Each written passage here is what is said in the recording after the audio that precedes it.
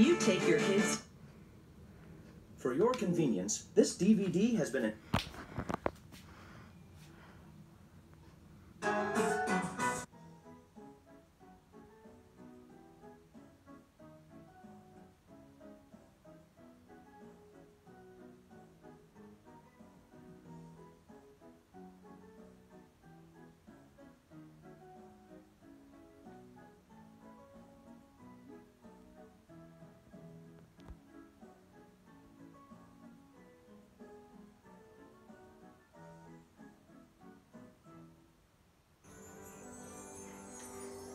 The island of Sodor is surrounded by beautiful blue sea.